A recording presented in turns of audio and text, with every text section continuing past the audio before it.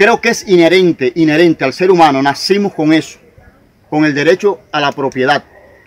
Cuando usted tiene algo que es el sentido de pertenencia, usted siente que es suyo, ve, experimenta que es suyo, que puede hacer con lo suyo, lo que usted quiere y tiene libertad para eso, suceden cosas como esta. La tierra produce, da su fruto. Usted se siente contento, feliz. ¿Por qué? Porque se percata de que el hambre, las necesidades que trae como consecuencia el despojo de tus bienes, no te toca.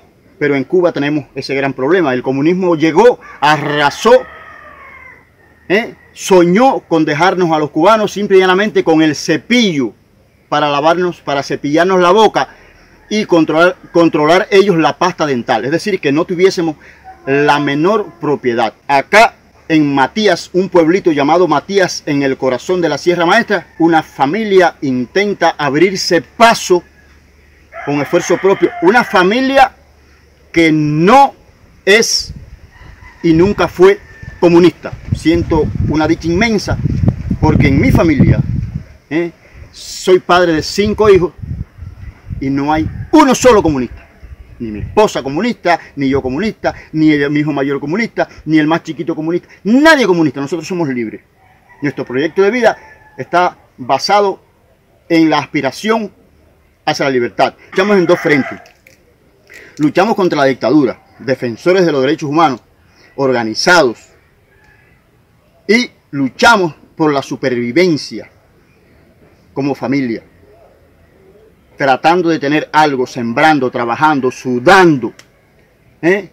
agradeciendo el apoyo de cualquier persona o organización en el mundo que nos tiende su mano para aliviar la miseria en que nos debatimos, pero firme y de pie frente al terror, tratando de impulsar nuestro proyecto. Inmensa alegría se siente, se experimenta cuando usted siembra una planta la cultiva, la ve crecer y luego puede recoger su fruto. En mis manos, frijol. Acá en, en la sierra se le llama frijol caballero. Un frijol muy sabroso, muy gustado, lo mismo en congrí, en potaje. Se elabora de diferentes maneras, pero un frijol que los campesinos cultivan mucho. Acá, el mismo frijol, ve en su vaina, como se dice aquí, las vainas una vaina de frijol. Frijol verde, miren, los, miren cómo pare el frijol. ¿Eh? Como pare, esta es la mata. Se da en forma de bejuco y se enreda por todas partes. El frijol. Frijol caballero. ¿Eh? Toma ahí. ¿Eh? Diferentes variedades. Hay diferentes variedades del mismo frijol caballero, diferentes variedades. Uno más grande que otro.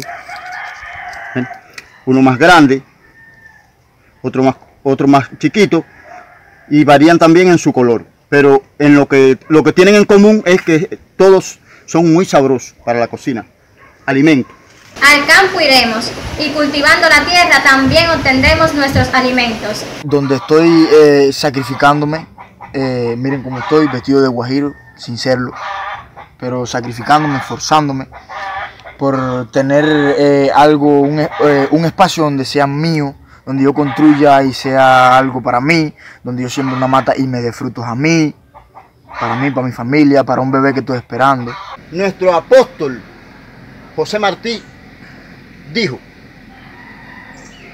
si el hombre sirve, la tierra sirve.